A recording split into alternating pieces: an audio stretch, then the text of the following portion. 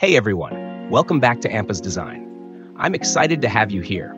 In today's video, we're diving into a fantastic editing technique using CapCut, text tracking. First of all, you need to have your video ready.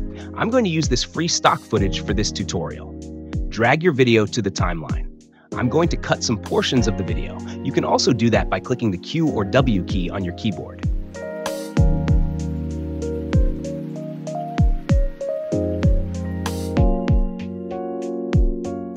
That's it.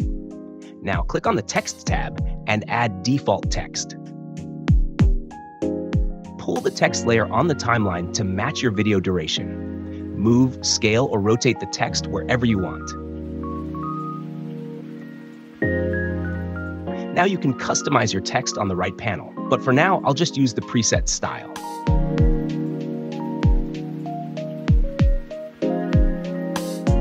Head over to the Tracking tab above and select Motion Track.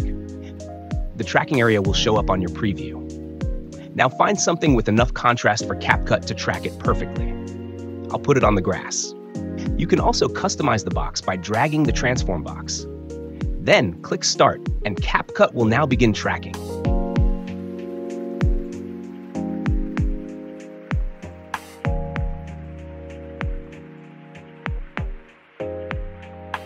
If it looks bad or isn't tracked perfectly, you can adjust the tracking on the right panel and restart the tracking.